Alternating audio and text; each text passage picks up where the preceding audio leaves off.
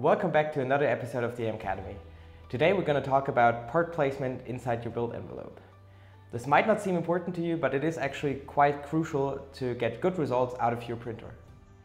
Alright, so there are six basic rules uh, you should follow when you place your part inside the build envelope and we printed some parts uh, on our FDM printer to just make it easier to show you how this exactly works.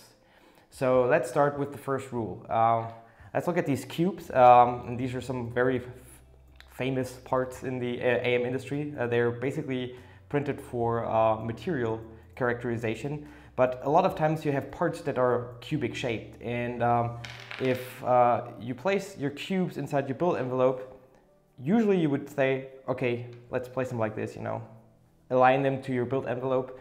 But actually what you should do is you turn them just a slight bit by maybe 20 degrees. Uh, and this is important because when your coater spreads the next layer of powder, it is uh, going to hit each of these parts in different uh, location. If you have them all turned like this, your coater will hit a large front of parts. So to avoid this, turn them in a little bit and then you only have a point of impact on each of these parts and this will release stress of the, of the coater blade. And of course these are small cubes. With small cubes you can place them like this, but the larger the parts are, the more critical the coater impact gets on your part. And if you don't follow this rule, it could happen that if your part protrudes a little bit and the coater hits the part, then the machine will just stop because the coater gets stuck. So try to avoid placing parts like this. Alright, so the second rule is try to place your parts in parallel to the coater. So what does this mean?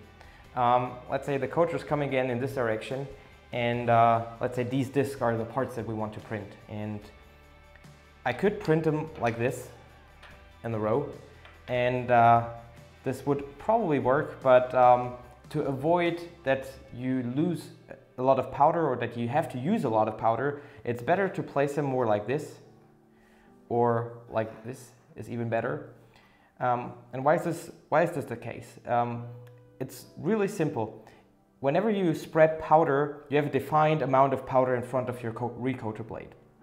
And this is typically uh, more or less a homogeneous distribution over the whole uh, coater uh, length. And if you place the parts like this, um, you will need a lot of powder just in the middle section. So your oversupply factor has to be a whole lot and you are wasting powder in these uh, two parts of your build plate. So let's say you need more than like 400% to print these parts like this, then all the powder that is on the sides of these parts will be wasted and will just be in your overflow bin. So if you place them like this, then you don't need as much powder to recoat and um, this basically saves you powder and saves you time for sieving afterwards and uh, all the post-processing. Alright, so the third rule is if you have a large flat part, try to place it at a slight angle in your build envelope. So the, this is a uh, cap from, from our camera guy and it actually shows pretty nicely um, how you should place your part because it's fairly flat and it has a lot of detailed features so it's not just a sheet metal part. Um, if you place it like this, you, you can do that, but the larger the part is, the more stress you will get in your part if it's a large flat part. So it tends to warp because you have a lot of force that is pulling the part together. So what you should do is place it at a slight angle, like this maybe. Um, so that way the exposed area in each layer is fairly small compared to printing it like this. This will assure that you have not a lot of stress in your part and it will also assure that you get it off the build plate more easy because, you know, let's face it, if you print it like this, you need to support all the bottom area and it's uh, really a pain to get the part off the plate. So printing it like this will help you stress-wise in the part and also removing the part is going to be easier. Alright, so the fourth rule is try to place overhangs away from your coater. So what does this mean? Uh, let's say again the coater is coming from this side and spreading powder this way. Uh, then uh, let's take our Academy hook and uh, place it in our build envelope. And this is actually the ideal position because this overhang here, this is the steepest. So we want to place this overhang away from the coater.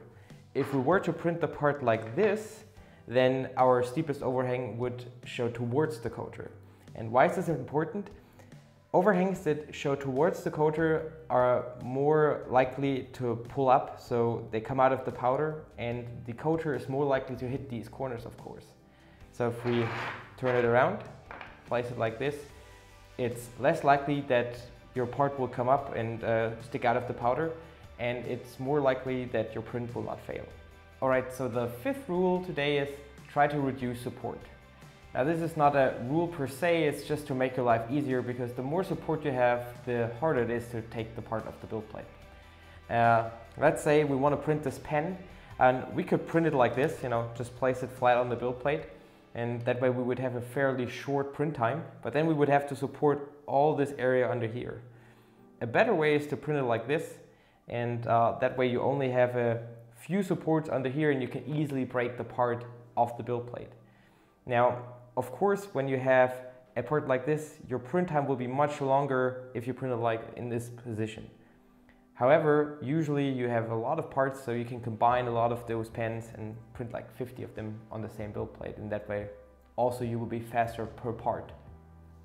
So the last rule today is rule number six, consider heat management in your parts. So what does this mean? When you print a part, you put a lot of heat with the laser into your build job. And for example, if you print a cone like this and you print it upside down, this will reduce a lot of supports of obviously because you only have one point that is touching the build plate. However, because the layers get wider and wider once you move up to the top of the part, you get a lot of heat stuck in your part and it cannot flow out of the part. So what you should do in this case is actually print the part like this, even though you have more support underneath.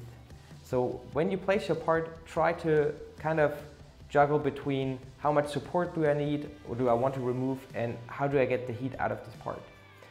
Um, this is actually a fairly complicated topic, so we will show you more detailed how this works in a later episode. So what did we learn today? Today I showed you the six basic rules of how to place your parts inside your build envelope. First rule was try to avoid placing long uh, edges alongside the coater Second was try to place your parts in parallel to the coater. Third rule is to place large flat parts at a slight angle in your build envelope. Fourth rule is try placing overhangs pointing away from your coater. Fifth rule is try to reduce support. And the sixth rule is consider heat management in your part. So these were the six essential rules of part placement in your build envelope. And Next time we will talk about the importance of shielding gas for your build job. Thank you for watching and hope to see you next time.